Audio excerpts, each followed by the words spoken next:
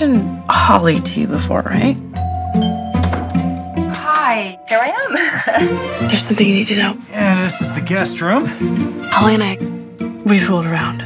You had sex with your college roommate? It was a one-time thing that happened five or six times. Wow. Who could it be? Don't look at me. You have a threesome opportunity in your very near future. It's great. I can't stop thinking about it. Well, make it happen. If she gets our way, things get out of control. Maybe getting a little out of control would be good for us. Okay. Yes, One, two, three, turn around, Still the best friend I ever had. turn around. Do you prefer having sex with her or having sex with me? With, with you. Took too long to answer. Just turn around. It's not about Holly.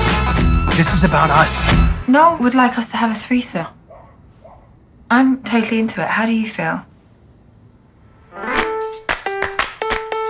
On a scale of 1 to 10, how much do you want to? This is a bizarre conversation. 10. 10 out of 10.